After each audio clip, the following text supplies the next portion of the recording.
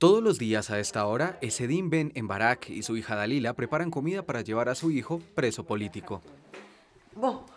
Pero esa mañana cumple 12 días en huelga de hambre, junto con otros cinco presos en protestas por su detención. Jawar Ben Embarak, abogado y activista político, es una de las principales figuras de oposición a Kaid Sayed. Lleva más de un año en prisión. Y en esta cesta, en principio, hay cuatro contenedores pero como hoy están en huelga, está vacía. Así que voy a traer una cesta vacía. Él y otras siete personas están acusados de conspirar supuestamente contra la seguridad del Estado, cargos graves que conllevan la pena de muerte. Sus abogados y algunas ONG como Amnistía Internacional han denunciado que se trata de un caso político con expedientes vacíos. Kayem ha perdido 8 kilos y Sam 7 kilos y medio, pero Howard y Abdelhamid no lo sabemos. Han adelgazado, pero se niegan al examen médico. De camino a la cárcel de Monarguilla, Dalila, hermana de Jaguar y abogada de los detenidos, explica las razones de esta nueva huelga de hambre, la segunda en seis meses. Pero de momento, el único objetivo es hacer lo necesario para que el juicio siga vivo, en la opinión pública y en los medios de comunicación, y sobre todo para poner de manifiesto la injusticia que están sufriendo. Para las familias, la movilización continúa. Esta solidaridad los llevó a organizar una marcha silenciosa el 25 de febrero.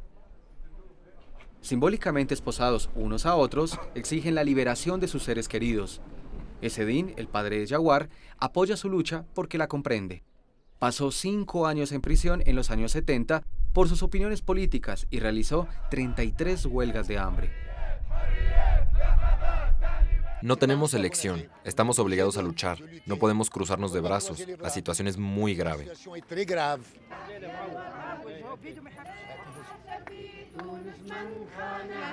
¿Es simbólico lo que está haciendo? Sí, claro, es simbólico. Nos vamos a liberar, no te preocupes. Algunas personas menos conocidas por el gran público han corrido la misma suerte por expresar una opinión crítica, como Rashid Tambura, un joven de Monastir, ciudad costera en el oeste de Túnez. Este artista hizo un graffiti contra el presidente de la República en febrero de 2023. Denunciaba el polémico discurso de Kaid Sayed sobre los inmigrantes subsaharianos. Rashid fue inmediatamente detenido y condenado a dos años de cárcel por ofensa al jefe de Estado. ¿Ves? Estos son sus pinceles que se han secado desde que no está. Nadie los ha tocado. Estos son los dibujos inacabados que aún no ha terminado. Nala no ha vuelto al estudio de su hermano desde su detención y sigue sin creérselo.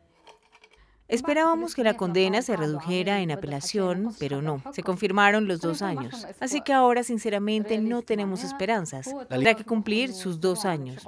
Él mismo ya no puede hablar de ello. Solo intenta ser paciente porque su vida ha dado un vuelco. ¿Te lo imaginas?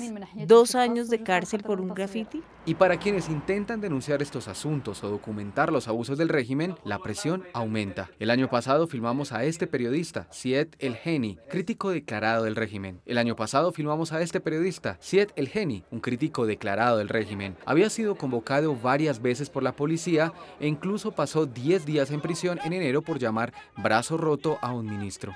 Este acoso judicial lo obligó a dejar la emisora de radio de máxima audiencia donde solía hacer sus columnas. Se ha unido a un nuevo medio, Kashaf, porque quiere seguir expresándose libremente.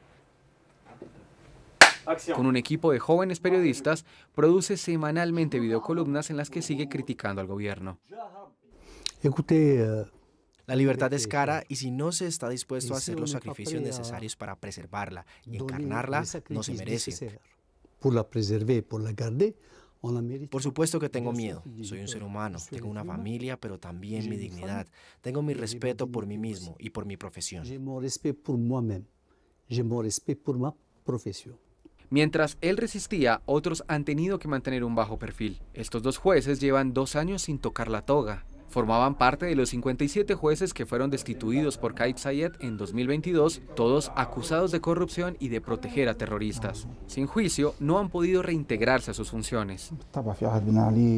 Bajo Ben Ali, el poder judicial estaba sometido al poder político pero nosotros seguíamos luchando por nuestra independencia y nuestros principios. Y eso nos valió sanciones y se persiguió a los opositores. Nos vimos obligados a trabajar bajo un régimen opresivo. Pero las represalias y amenazas contra los jueces fueron calculadas. Lo que vivimos actualmente es una humillación constante.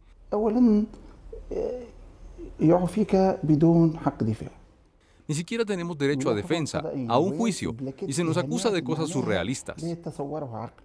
Él y su colega ya no protestan. Han iniciado los trámites para convertirse en abogados, su única opción para no perder su medio de vida. Es poco probable que su situación cambie. A finales de año se celebrarán nuevas elecciones presidenciales en las que el presidente Kais Sayed, que sigue siendo popular, podría presentarse a otro mandato.